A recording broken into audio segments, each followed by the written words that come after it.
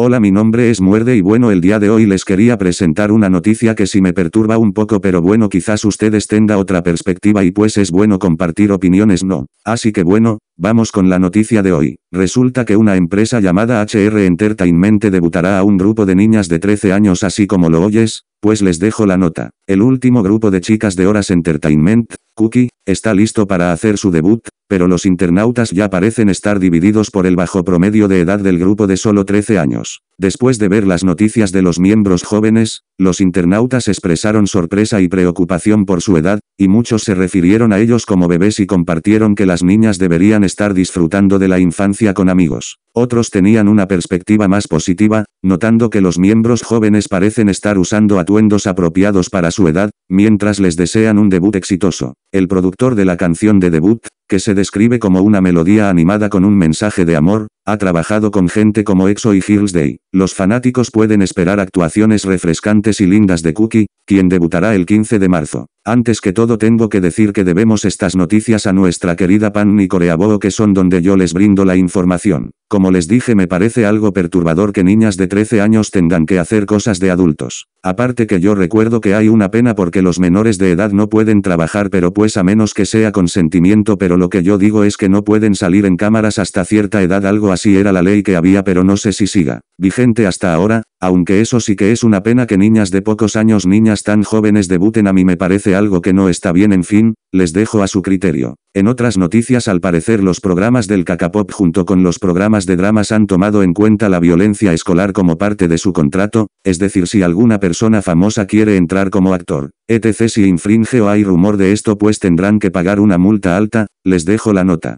Tanto los K-dramas como los anuncios están agregando una nueva penalización para los miembros del elenco o modelos que causen daños al trabajo debido a sus escándalos pasados. Según un informe exclusivo de Osen, los equipos y empresas de producción de K-drama están modificando sus contratos con las celebridades con las que trabajan para agregar una nueva cláusula, lo que obliga a la celebridad a pagar el doble de la multa si está involucrada en un acoso escolar o escándalo de violencia que afecta negativamente a la producción. Los actores que ya firmaron sus contratos han tenido una cláusula adicional relacionada con la violencia escolar agregada a su contrato. Los contratos futuros también tendrán la misma cláusula de violencia escolar. Estamos considerando si el delincuente debe pagar el doble de la multa, o si debe pagar todas las tarifas, desde las tarifas del patrocinador de PPL hasta los costos incurridos por la demora y la nueva filmación del drama. Insider de K-Drama. La industria de la publicidad está operando de manera similar, agregando una nueva cláusula a sus contratos relacionada con la violencia escolar. Muchos contratos publicitarios ya incluyen una cláusula de decencia,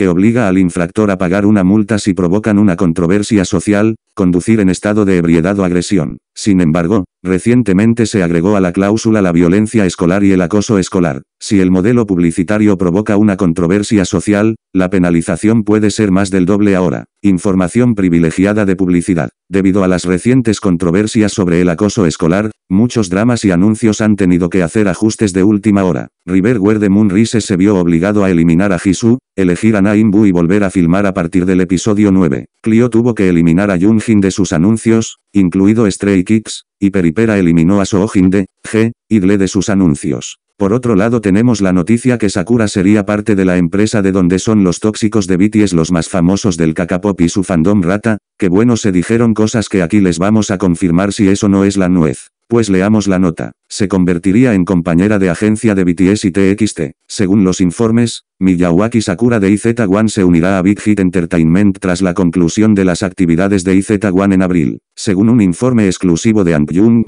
Miyawaki Sakura decidió unirse a Big Hit Entertainment tras la conclusión de las actividades de IZ*ONE en abril. Recientemente, informó a sus allegados de su decisión, y los conocedores creen que podría unirse al nuevo grupo de chicas de Big Hit Entertainment en el futuro. Actualmente, Big Hit Entertainment ha declarado que están investigando el informe. Miyawaki Sakura debutó con el grupo ídolo japonés HKT48 y fue una de las miembros más populares del grupo durante su tiempo de promoción con ellos. Más tarde decidió unirse a Produce 48, donde ocupó el segundo lugar y volvió a debutar con IZ*ONE. Tras el informe inicial de Miyawaki Sakura firmando con Big Hit Entertainment tras la conclusión de sus actividades con IZ-1, Big Hit Entertainment respondió al informe con una breve declaración. Aún no se ha decidido nada. Big Hit Entertainment. Anteriormente, Ang Jung informó que Miyawaki Sakura le había dicho a las personas que la rodeaban su próximo movimiento a Big Hit Entertainment, y que podría unirse al nuevo grupo de chicas de Big Hit Entertainment. En otras noticias la verdad quise ponerlo porque los grupos que no eran tan escuchados están siendo aclamados nuevamente y eso es algo digno de contar creo que es bueno apoyar a grupos nuevos que bueno se esfuerzan pero en sí grupos de chicas. Adultas no niñas ok jajaj pero bueno les dejo la nota de este grupo de